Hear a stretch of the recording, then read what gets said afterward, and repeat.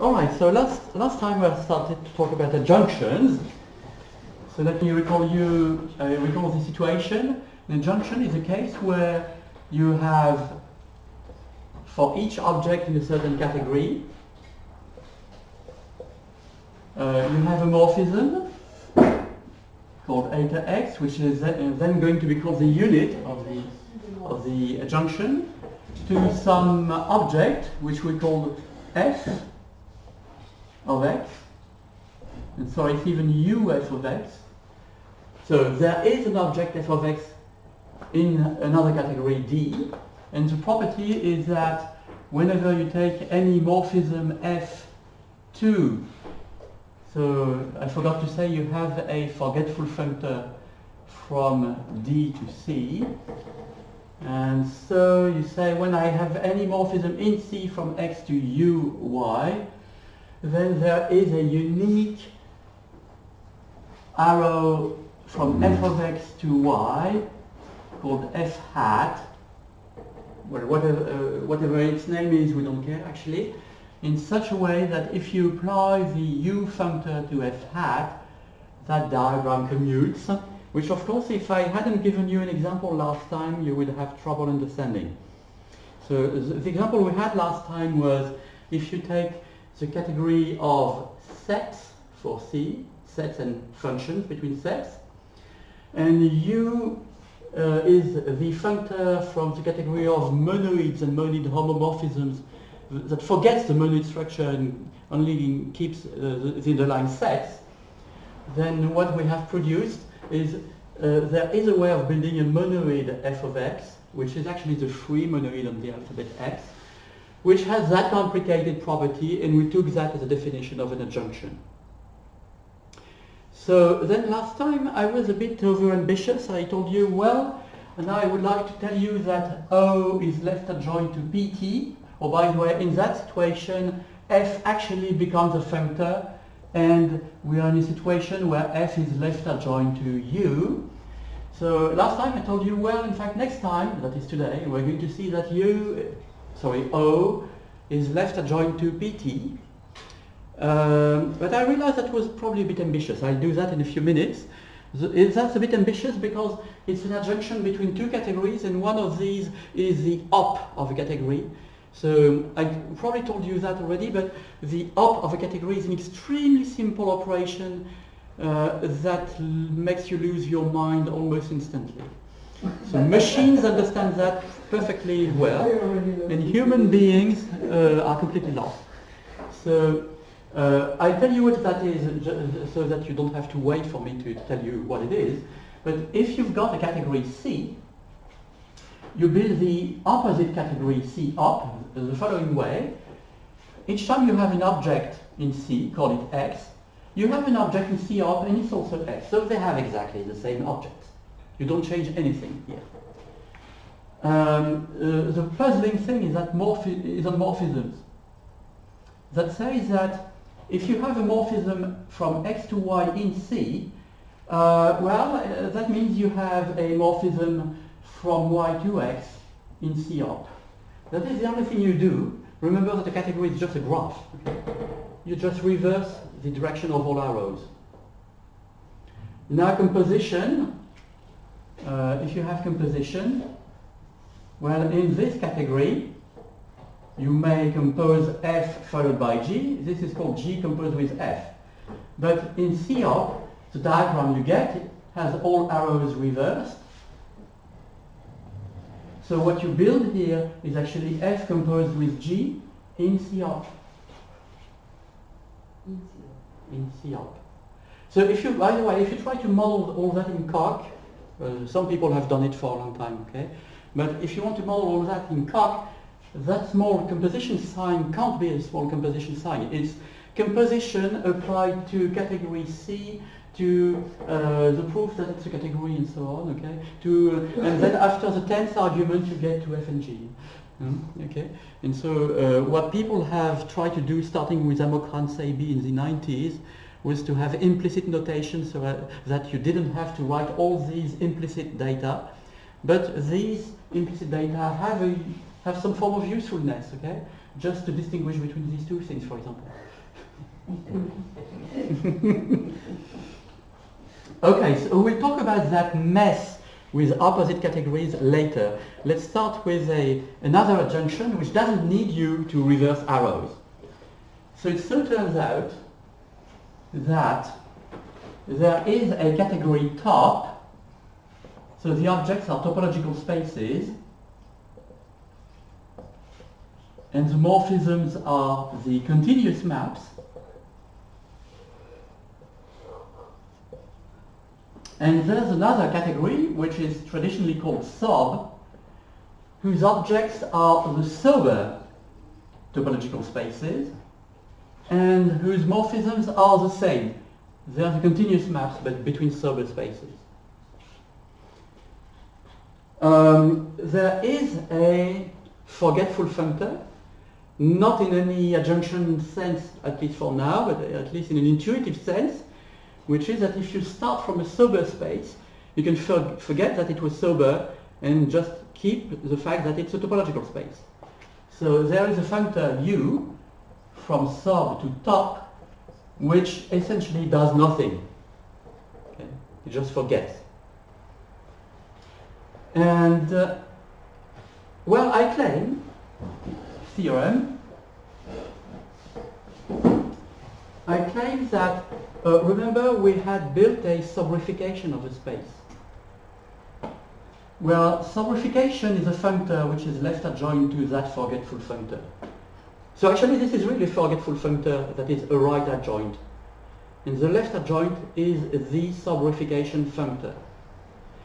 So I had said what the sobrification functor did at the level of objects.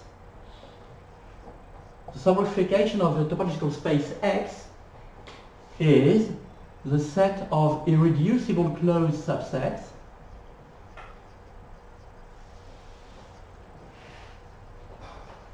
C of X with a topology, of course, and the topology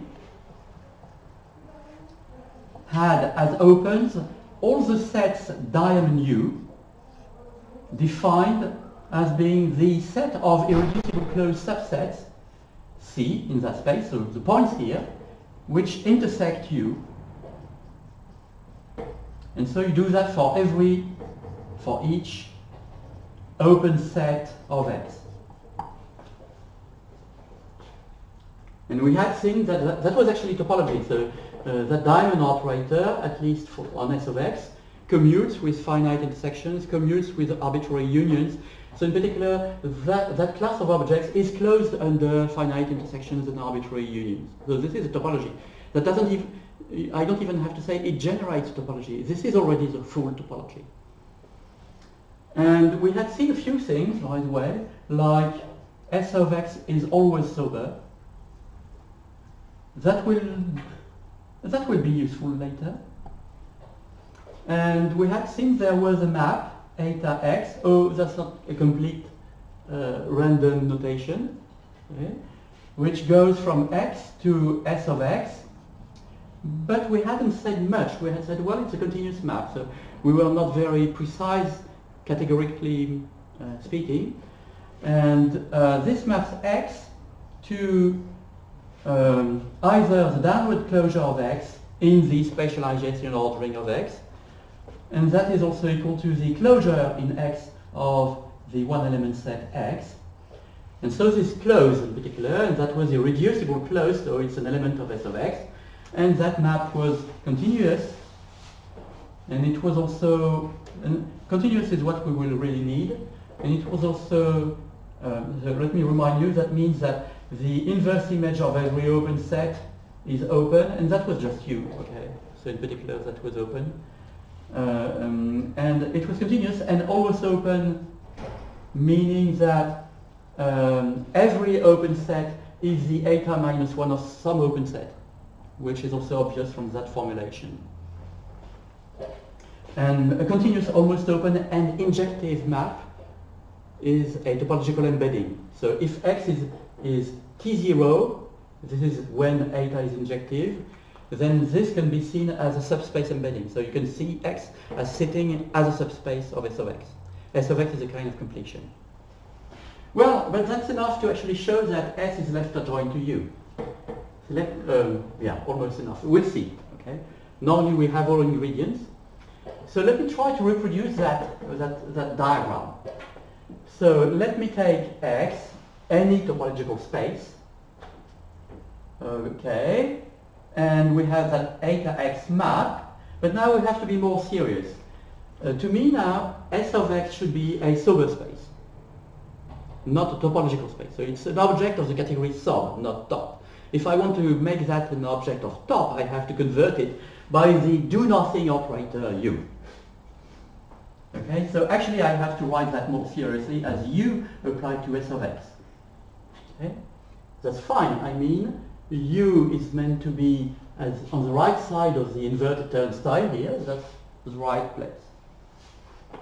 So we already have that, and it's indeed a morphism. It's indeed a continuous map in the category of topological spaces.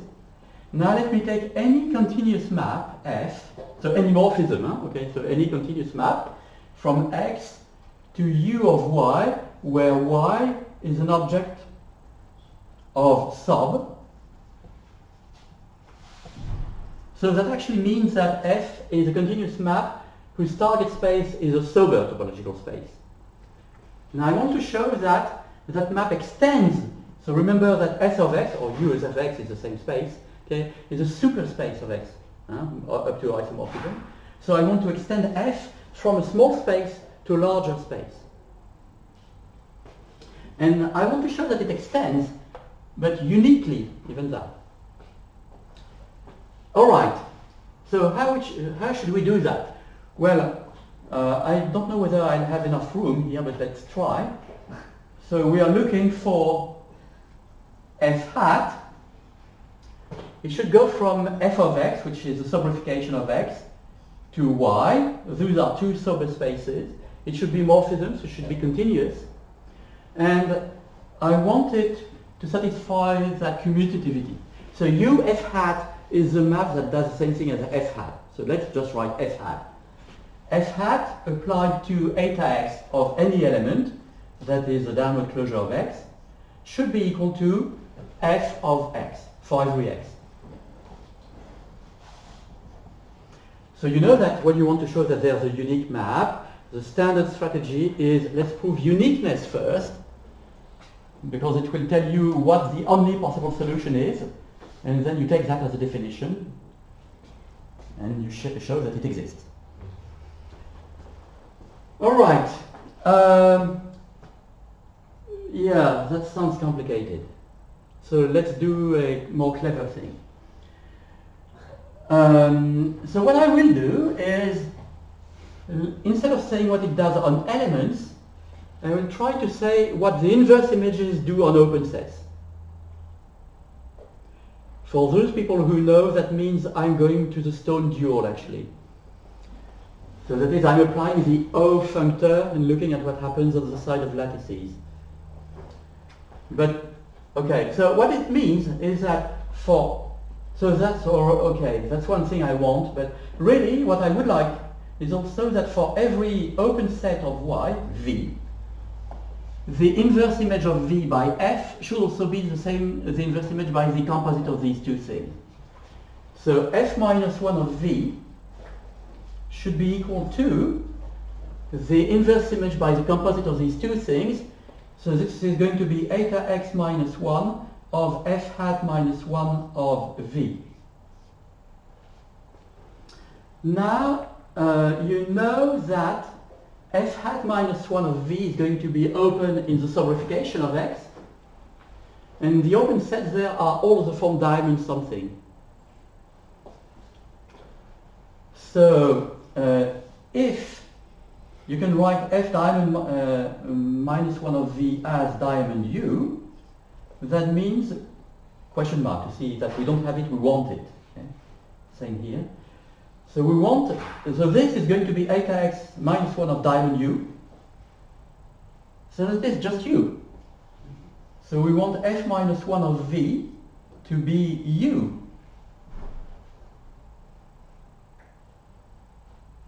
Okay, so for, for every v, you know f minus 1 of v. f minus 1 of v should be equal to u.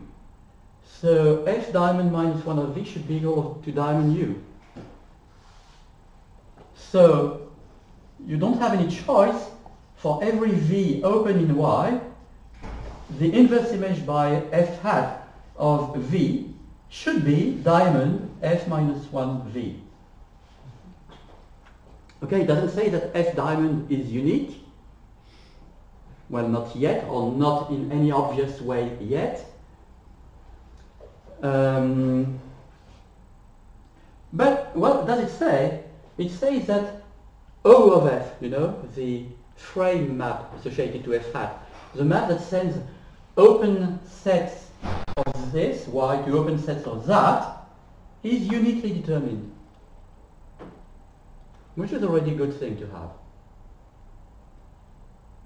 Well, in fact, if I had shown the other adjunction first, I could have told you that as soon as you know the frame map associated to a continuous map, you know between sober spaces, you know the continuous map immediately. But I haven't justified that yet, so I will do now. Uh, the whiteboard is a bit small, so I will just erase this, although it may come in handy later.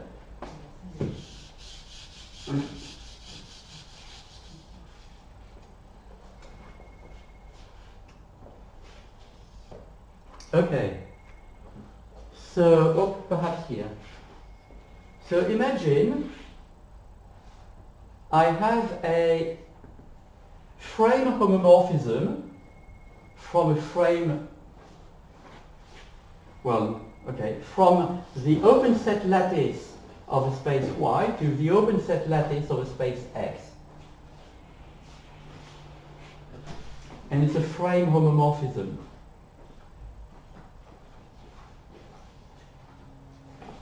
Oh, by the way, is, is that formula, does that formula give you a frame homomorphism? That would mean it preserves finite intersections and arbitrary unions. Okay, so if you replace V by finite intersection, F minus 1 commutes with all intersections, all unions, even complements, everything. Okay? Diamond commutes with finite intersections. So the composite of the two commutes with finite intersections. Arbitrary unions? Well, F minus 1 commutes with arbitrary unions. And I said earlier the diamond commutes with arbitrary unions. So that is really a frame homomorphism. Okay, so now imagine you have a frame homomorphism between two open set lattices of topological spaces, and at least one of them is sober. For safety, let me assume that both of them are sober, where x, y are sober. Well, I claim there's a unique continuous map f from x to y such that phi is really O of f which is the map that sends every open set to the inverse image of that open set. So let me call that f minus 1.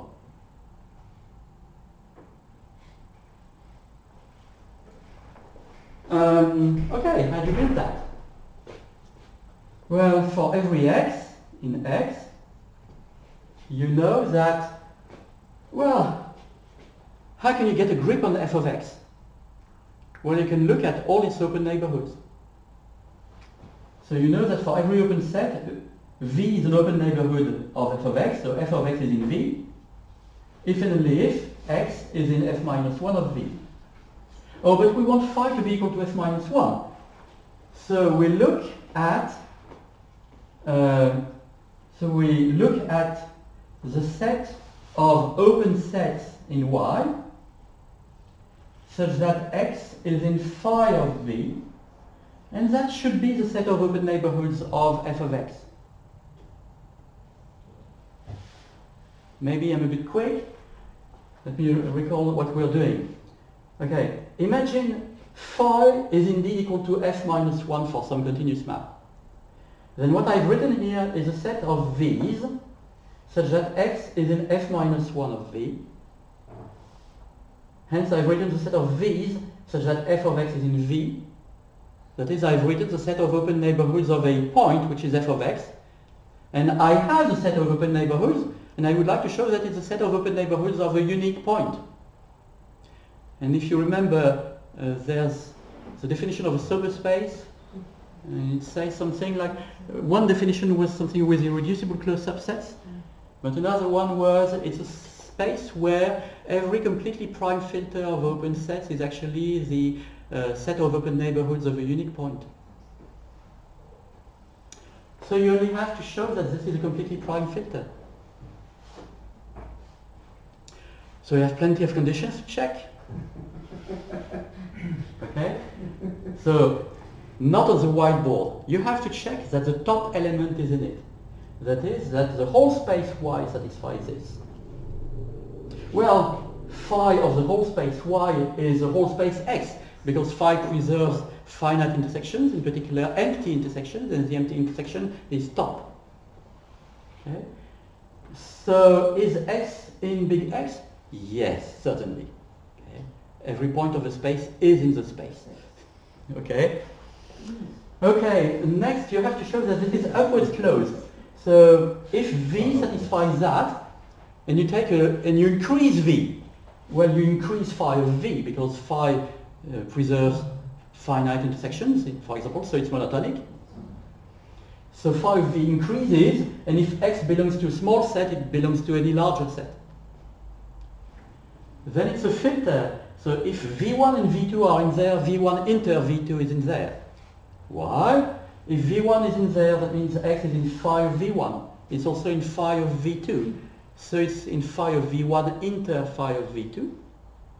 And because phi is a frame homomorphism, it is phi of V1 inter V2. Okay? Uh, so what you've gotten is that V1 inter V2 is also in there. Okay? So we've used uh, the fact that uh, phi preserved finite intersections. The fact that it preserves arbitrary unions shows that it's completely prime. So let me perhaps write it down. So imagine that the union of VI's is in that set. That means that X is in phi of the union of the VI's.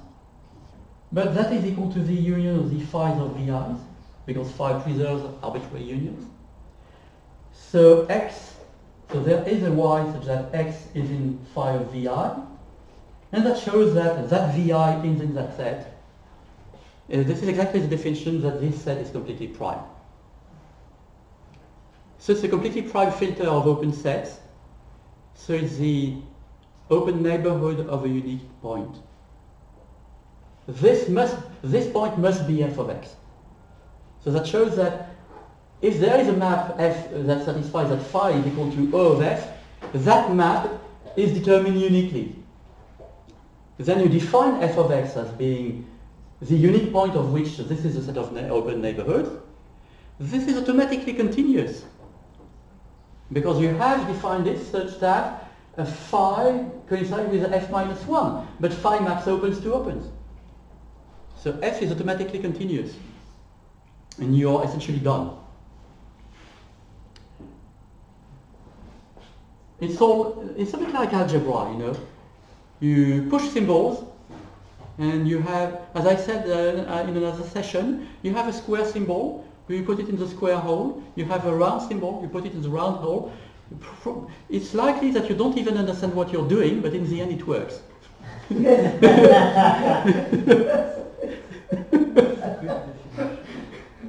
works. some kind of magic. Yeah, it's some kind of magic, yes. Um, okay, so essentially the, this thing here, which maps a V to diamond f minus 1v now, is a frame homomorphism between sober spaces. And so it's the it's indeed the f minus is the minus one of a unique continuous map, which is going to be f hat. And we are we have finished here. But of course I've cheated. Okay? Yes, a little bit. Yeah. So something like, okay, so there are some things that I have not checked really, and mostly I've given you some kind of uh, magic path to the final solution, which says, oh, that exists. You have no idea what it is. And uh, so here's another piece of magic where I'm going to show you what it is, and we'll check that it actually works. But then you'll tell me, how come did you have that idea that it should be this formula? well, of course, you can do that part of magic and do the actual computations, okay? Remember that you get points as being, you know, the larger points of reducible closed subsets and that the reducible closed subsets are the unions of whatever is not in your completely prime filter. So you do pushing symbols a long time and eventually you'll get to the formula I'm going to give you. Oh, that formula will not show you that f hat is unique, by the way. Mm, okay. So, in fact, f hat of x is, aha, uh, sorry, not as x, f hat starts from here, so it, it, it, it takes a irreducible closed subset C. Okay, so how do you define it? Well, um, you can take the image of C by F. So most people write that F open parenthesis C, closing parenthesis C. And I hate that notation, especially because I'm working with uh, hyperspaces. The uh, hyperspace is a space whose elements are subsets of another space. so if you do that, after some time you don't know whether f of C means the image of f, the image by f of an element C that happens to be a subset. Yeah. Okay? You see the problem, okay? So I tend to use the notation f uh, square bracket C to say the image of C by F, uh, but I also use it for different purposes. Um, so the problem is that we essentially have finitely many notations in mathematics, although we do have plenty of them, but essentially the, use, the useful ones, the ones that can be read, are finitely many. so I know that some people, uh, I won't cite him, but uh, he was my PhD advisor. Uh, was a was a very um, inventive person as far as notation, notation was concerned, but I've decided not to follow his example. So let's take the image of that irreducible closed subset C by F. Does it give you a closed set? No. No, no. The answer is no. no. the image by a continuous map of a closed set is in general not closed. But we don't care. Let's take the closure. now it's closed. Okay? I claim that this set is irreducible. Claim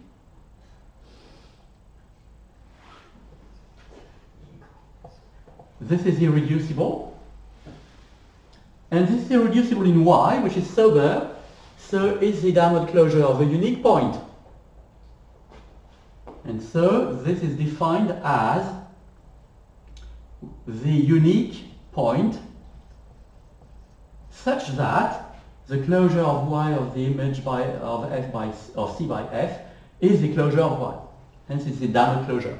If you prefer, of course, you can get explicitly what that point is because it's the largest point of that closure.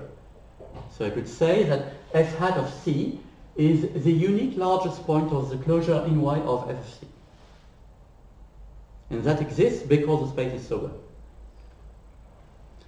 So let me check that this is irreducible.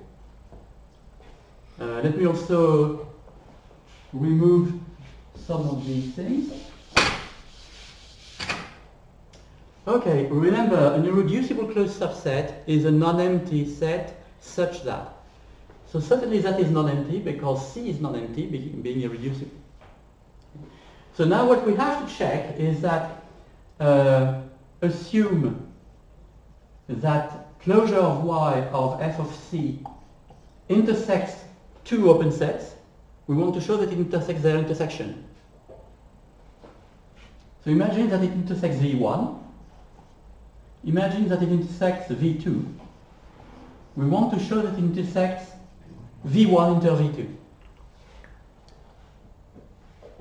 The first thing you should not do, but you will be tempted to do, is to say, oh, since that intersection is, is non-empty, there's a point in the intersection. Forget it. That leads nowhere. No, the first thing you should do is when you see that you say that an open set intersects the closure of something, you should immediately conclude that the open set also intersects the thing below the closure. Mm-hmm. I think I have said that a few months ago, so you have no, no excuse not remembering that. Absolutely. So let me find some small piece of paper, or board rather. So, okay, let me, let me try to say that in, in a picture. You have a set A, which is here f of c. You take its closure, is a closure of A, and you have an open set which intersects the closure of A. So in the worst case, that would be this. It would intersect the closure of A, but apparently not A. But that can't happen. That can't happen because of the definition of the closure of A. The closure of A is by definition the smallest closed set that contains A. Okay, so you look at all the closed sets that contain A, mm, you push that uh, as far below as you can, okay? You remove everything that can be removed while remaining a closed set and still containing A. But now look at the complements of what you're doing. You're taking open sets that don't intersect A, take the largest possible one, and suddenly the largest possible one uh, is a complement of the closure of A. So if you look at the picture, that means that, oh damn, the largest possible one doesn't contain V. Okay? And you assume that V was disjoint from A. So you had one open set non-containing A, but the largest open set not containing A uh, doesn't contain V. What's that? That's a contradiction. Okay, there are lots of negations in what I just said, but essentially imagine that uh, the largest open set that uh, doesn't meet A, uh, where is it? But well, it, it must contain V, whatever you do. Okay. So if V intersects closure of A, that means that V is not inside the lar- that largest open set. So it's impossible that it, it be disjoint from A. So that's the standard trick in topology. So now you know that. Um, mhm. So now you know that f of c intersects v1, f of c intersects v2, and now you can take an element. But an element of f of c is something of the form f of x with x in c. And you're saying that you have an element in C whose image by f is in V1. So you have an element in C which is in f minus 1 of V1. So C intersects f minus 1 of V1 and similarly for the other one. But now C is irreducible closed and it intersects two open sets so it intersects their intersection. So C intersects f minus 1 of V1 inter intersected with f minus 1 of V2. And f minus 1 commutes with intersection. So C intersected with f minus 1 of V1 inter V2 is non-empty. And you do the same kind of reasoning in reverse. And so you happen to realize that f of C intersects V1 inter V2. Hence, closure of f of C intersects V1 inter V2, and that shows that indeed that object is irreducible. Okay, so I claim that uh, the solution to our problem, f hat, is uh, that map defined in a funny way. But of course the whiteboard hasn't uh, enlarged, so I'll have to erase something. And I'm sorry, I'm going to erase what I have just written. So now, because we haven't defined it by stone dual, we have to check that this is continuous. Before that was for free. We had built it in such a way that it mapped opens to open. So anything we could find was continuous by design. Now here we have to check that it actually uh, is continuous. So what is f hat minus 1 of v? Oh, by the way, I sincerely hope I will retrieve that formula. Huh?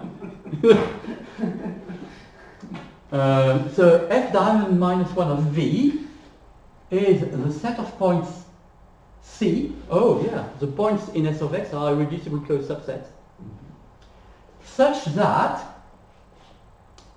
uh, that unique y such that blah blah blah. Okay? So the unique y such that closure in big Y of f of c is downward closure of y is in V.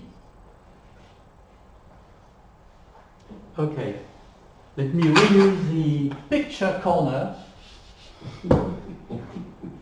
okay, so you have closure of f of c. It is actually everything below unique point y. When is that unique point in an open set V? Well, it's exactly when the closure here meets V. Okay? If y is in V, then certainly the closure meets V at y. And conversely, if the closure meets V at any point, then y is above that point and hence is still in the open set V. So that is exactly the set of C's such that the closure yf of C intersects V. We have done that already, right? Yes. So this is a set of C such that C intersects f minus 1 of V. Oh, but then that is exactly the definition of diamond f minus 1 of V.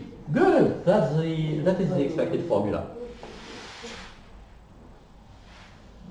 Okay? So the last thing you should actually check is that the diagram commutes.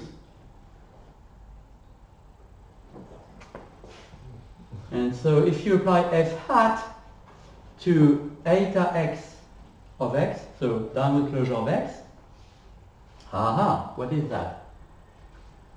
All right, this is the unique y such that the closure in y of the image of downward closure of x is downward closure of y. Oh, but this is very simple. What is the image of downward closure of x by f? Well, I don't know. It's, it's complicated. But let's, let me reuse a corner here. In that space, you suddenly have f of x. Right?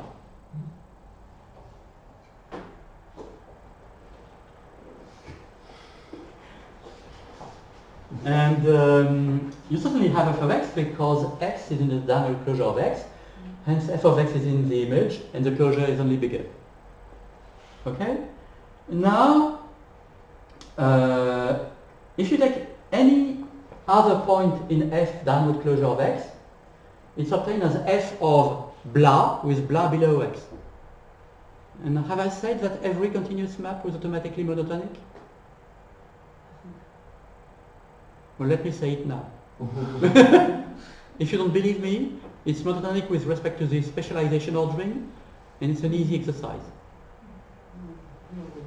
So if I take any other point here, it's of the form f of blah with blah below x, so it's below f of x. So I know that f of downward closure of x, so it's included in the downward closure of f of x. Okay? Now you can check that um, the closure is downwards closed. So the smallest closed set containing that it contains the smallest downwards closed set. So that closure actually contains this, contains the downwards closure of f of x.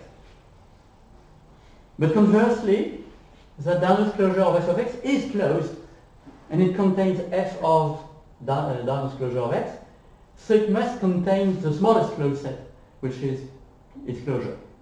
So that closure is actually this. It's actually the downward closure of f of x. And I said, oh, f hat of diamond x is the unique point such that blah blah blah is the downward closure of y, and it's also the downward closure of f of x. So it's f of x. Okay? So this is f of x.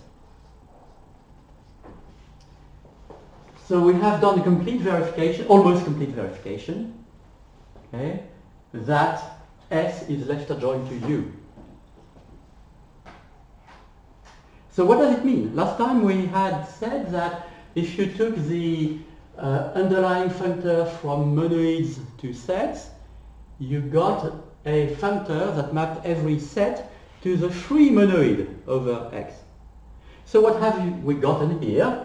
We have gotten that S of X, the sobrification of X, is the free sober space over X.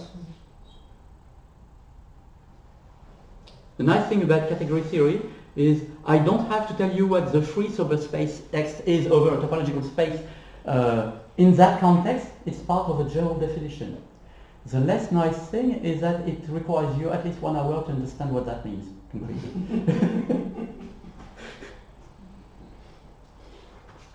so that is why I wanted to tell you about adjunctions. Uh, we have a situation of an adjunction. In particular, we know that we are building the a kind of universal sober space on top of a sober space X. It's a, it's a solution to a universal problem. That universal problem is here. It sounds complicated, but it's a, it's a kind of, uh, of um, let's say, indication of quality in mathematics. An adjunction is a free structure. It's the least thing you could build that satisfies being sober and containing X, essentially.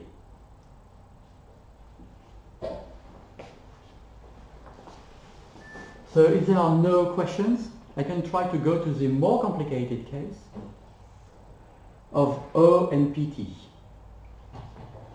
So as I said, it's more complicated because we will need to take ops of categories.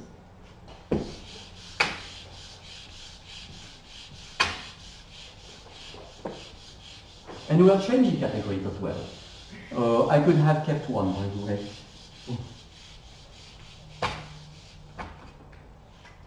So now we take the following two categories, top, topological spaces and continuous maps, and we take the category of frames with frame homomorphisms, and I'm starting by writing something which is wrong. The nice thing with whiteboard and also and also blackboard as well. Is that you can change things sometime. And I won't erase, I will add. Great. So there is a functor, O. Okay, I want to say that O is left adjoint to point. So O goes from top to something like frame. I don't want to say its frame. Okay? And so eventually what I show is that which is incredibly funny. It says that the lattice of open sets of a topological space is its free, well, almost frame over X. And uh, if you didn't have the categorical definition, you would have never think of that kind of thing. A free thing usually is something you build out of a term algebra and you quotient by some uh, uh, equations. And this is not at all what you do here. So anyway, we want to define that functor. At the level of objects, it maps the topological space to its frame of open sets. Fine. But what does it do at the level of morphisms? You have a continuous map from x to y. What can you do with that? Well, what you can do is what I wrote here essentially. You have a map from OY to OX, which is a frame homomorphism, and which is f minus 1. But then, it doesn't go in the right direction. It goes from OY to OX instead of OX to OY.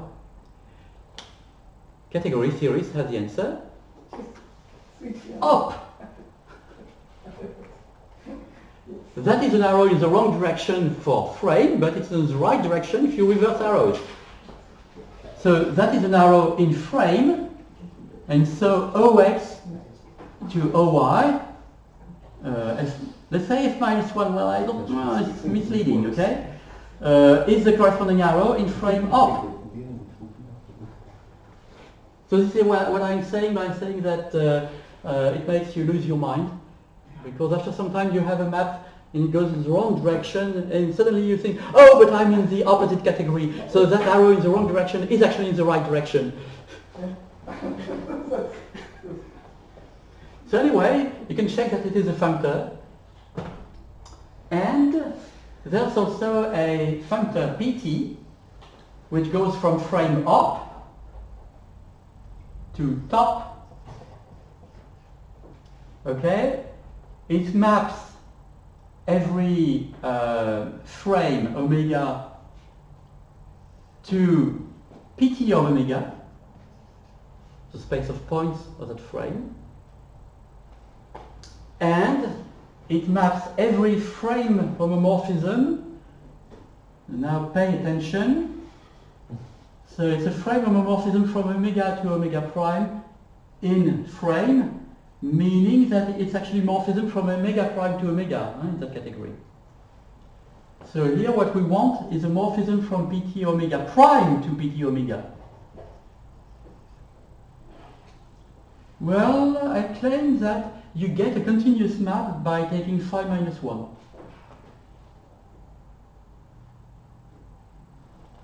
And then you're lost because of typing. Oh, so let me check that. So what I claim here is that if you take a frame homomorphism as follows, if you define a map that sends every completely prime filter of omega prime to phi minus 1 of it, then you get a completely prime filter of that. Um, that's actual just immediate verification, nothing to, to understand from that. Um, so if I take a completely prime filter x prime, remember my uh, strange uh, habit of denoting completely prime filters as though they were points of some space. Um, so a completely prime filter, I look at phi minus 1 of x prime, so phi minus prime of x prime is a set of elements of omega such that phi of u is in x. Huh? Well, I claim this is a completely prime filter. Uh, let me check just the complete prime property.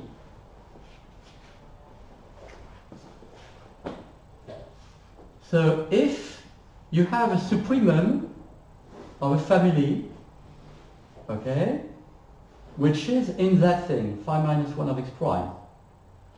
Well, expand the definition.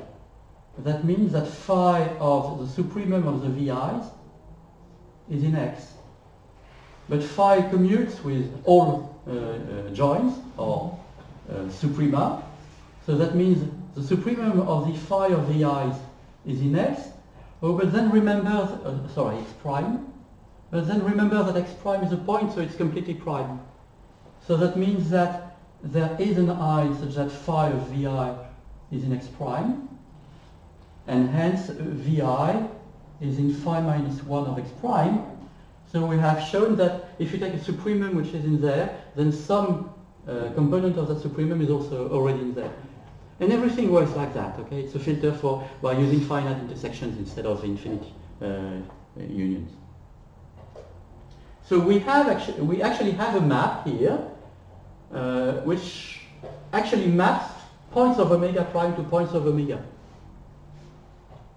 Uh, I should check that this is a map that is continuous, but now I have a problem with notations because I want to show that the inverse image by phi minus 1 of something of an open set is open. So, okay, let me not call it phi minus 1, let me just call it pt of phi. Okay? After all, this is what you should call it because pt is a functor. Okay? This is the image of that morphism by the functor pt. So now let's check that pt of phi is continuous. So what does this mean? That means that if you take pt of phi minus 1 of an arbitrary open set here, what is an open set of pt omega? Well, something that I wrote big O of u, where for every u in omega, big O of u is the set of completely prime filters, so elements of pt omega, such that, and then remember, x is in OU if and only if U is in X. That was uh, something that reverted the, mem the membership relation. So it's a set of completely prime filters which contain U. So now we check that this is open. How do you do that? Well, just algebra, you know, pushing symbols without understanding. So this is the set of points x prime in Pt omega prime, such that Pt of phi, Pt of phi is phi minus 1, is in OU. Use the definition. This is a set of points x prime such that U is in phi minus 1 of x prime. So this is a set of points x prime such that phi of U is in x prime. Oh, but then that is just O phi U. In particular, that's open. As I said, pushing symbols without understanding. That's fine. That's fine, but for five minutes, I guess. Yes. okay, so now I claim we have two functors. How do I show that they are that they form an adjunction?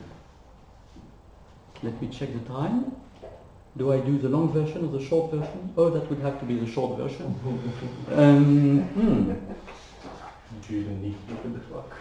What? Did you even need to look at the clock? Yes, I do need to look at the clock. Yes. Um, but I'm afraid the short version is not much shorter than the long version. No. So I have to tell you that there's an equivalent definition of adjunction, which is usually less practical, but in that case it is going to be more practical. I have probably already mentioned it, by the way, but I'm not completely sure. The alternate definition is that you should have two functors, uh, so u from D to C, so I wrote U uh, on the right. So U goes from D to C, F goes from C to D, and there should be two so-called natural transformations. One called eta x, or well, eta. The transformation is a collection of morphisms, one for each object x. Okay, that should go from x to ufx. This is actually what we wrote here. But it should be natural, and natural means that uh, if you have any morphism from x to y, then of course you can go from fx to fy by applying functor f, and then by applying functor u, you can go from ufx to ufy, and you can go from the x to ufx by eta x, and you can go from y to ufi by eta y. And naturals means that you don't care. Uh, you can go this way or that way, that's the same morphism.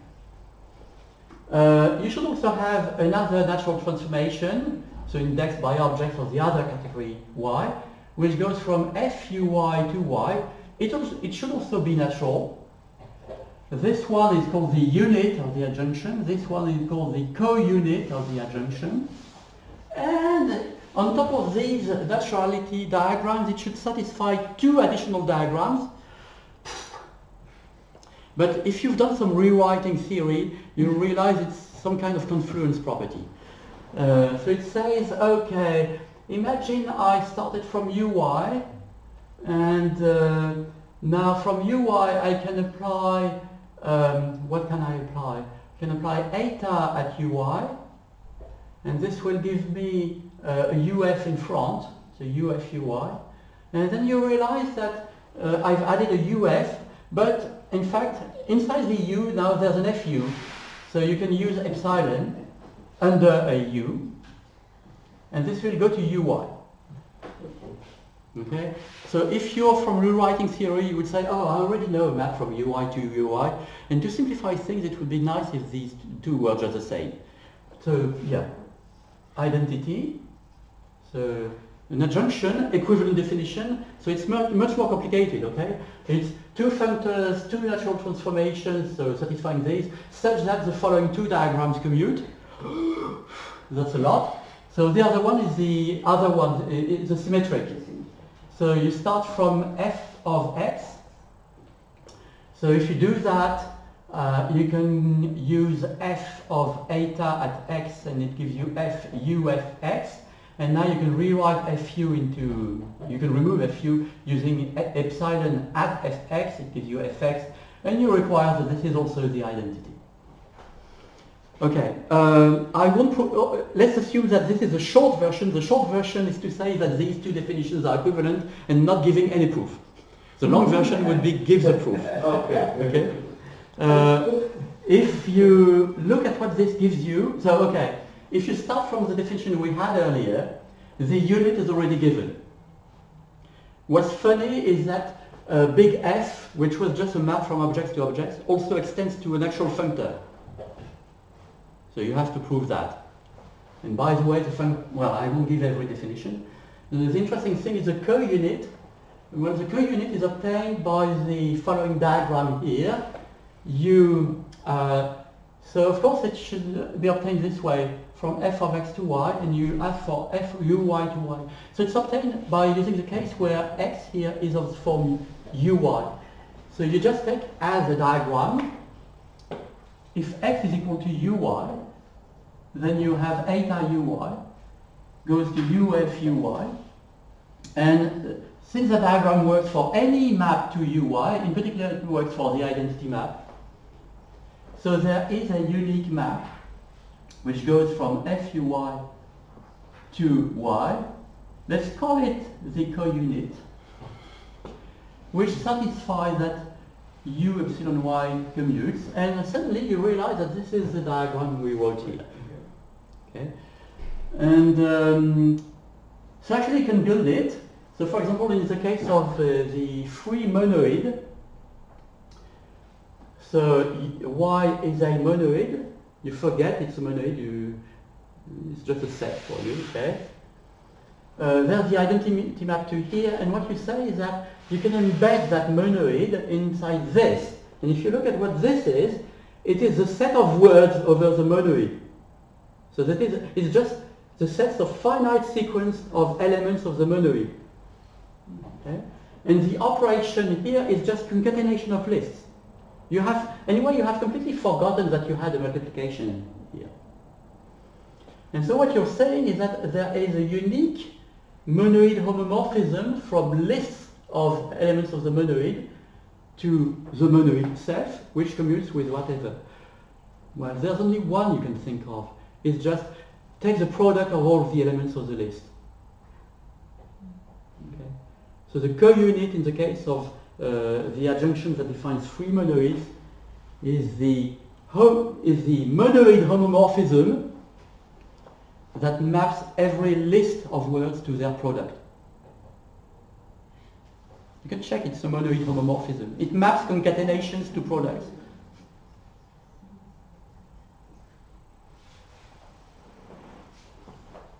Uh, by the way, for the previous adjunction, S uh, turnstile U, the co-unit is even simpler, it's the identity map.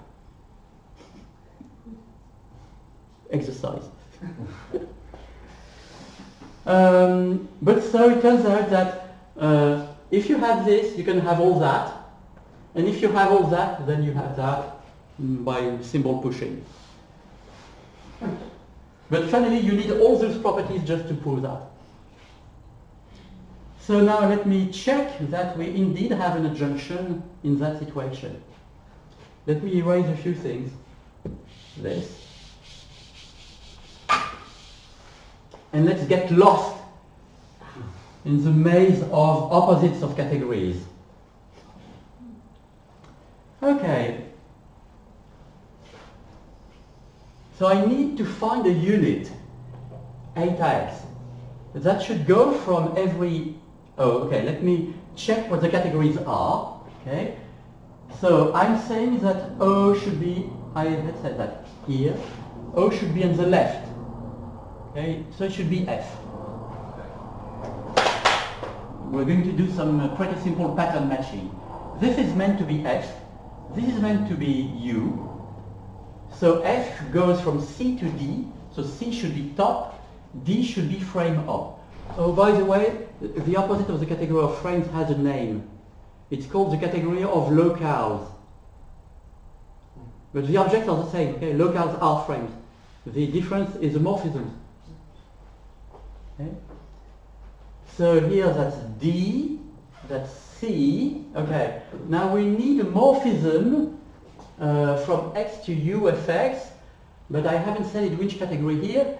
So um, that, that is in C. Okay. And epsilon is in D. So the first one I need is in C, which is top. So I need a continuous map from topological spaces X to U, PT, F, O of X. Oh, we already had it and we already had named it epsilon, uh, eta, I mean.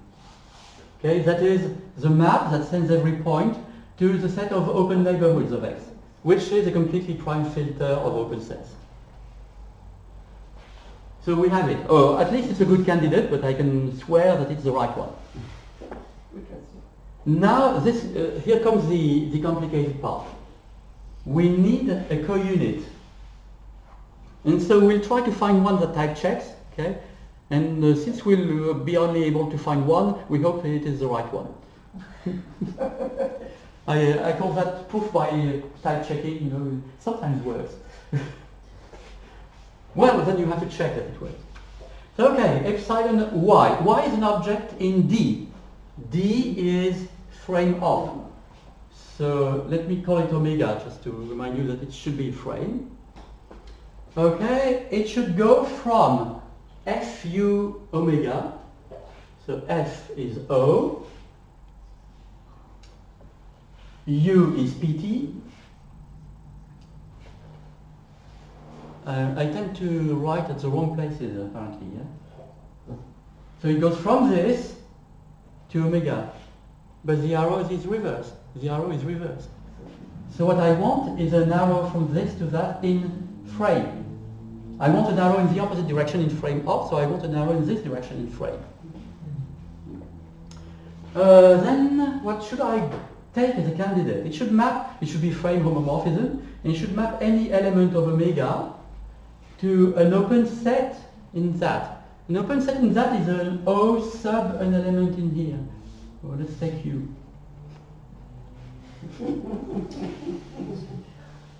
oh, and by the way, it is a frame homomorphism. We had seen earlier that this construction commutes with all finite, finite meets and all uh, arbitrary uh, joins. So this is a frame homomorphism. So now we have to check that these two things are natural transformations. This is the ever boring thing. Nobody ever checks naturality. Okay. In category theory papers, beginners actually say it is easy to check that it is natural. Professionals don't say anything. and by the way, of course, from time to time, uh, it is not natural. And that's just a mistake. that's life. But that's boring. Um, and you know what, uh, what teachers in mathematics do with boring things? They, they leave that as exercises to the reader. Okay. okay, so we won't consider that. We'll just try to check these things. Uh, okay, for the first one. Oh yeah, and then I need to reverse arrows on the fly. Huh? And also I need to do minus ones on the fly.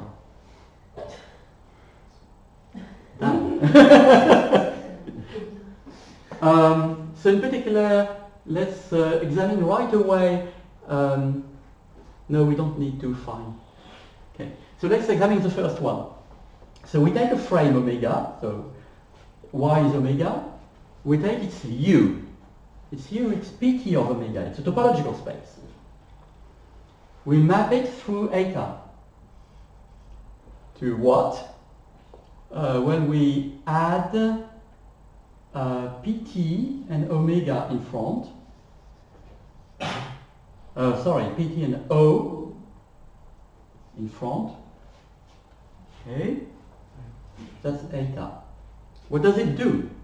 Well, it takes a point, completely prime filter, and maps it to the set of open neighborhoods of F. Now we apply u of epsilon. No, not omega, pt of omega. So what does u of epsilon do? Well, u is pt and we do pt of epsilon at omega. Okay, so pt of epsilon, what it does is epsilon minus 1. This is what we had written here. So what I obtain here is epsilon minus 1, epsilon omega minus 1, or the set of open neighborhoods of x. Hmm, what is that? Well, this is the set of elements u in omega such that OU is in NX. Is that right? So that says such that epsilon of u, which is OU, is in that NX. Mm-hmm. Okay. But being an open neighborhood of X for an open set means that X should be in OU. So I've swapped the two things as you've seen, okay? Mm-hmm. But X is in U- OU means U is in X. So I'm swapping again. So it's a set of U's that are in X. So that is just X. Oh yes, that's the identity. Okay. Now for the final one, we start from f of x. No, now x is a topological space. F uh, is, is the frame of open sets. We do O of eta x, and we go to O pt O x. So what does this do? We take an open set U, and what we build is O eta x of U, but O, it's also minus 1. So what I get here is eta x minus 1 of U. Now I apply epsilon at O of x.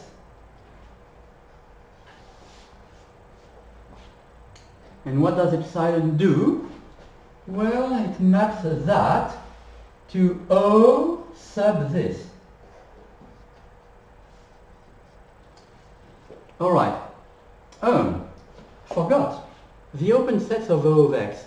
So, sorry. Um, yeah, so at some point I must have made a mistake because I have not swapped the direction of arrows any place. and that is wrong, okay?